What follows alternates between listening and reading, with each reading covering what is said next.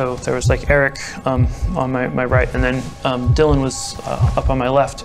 And I looked up at Dylan and I said, Hey, Dylan. And he said, Hey, man.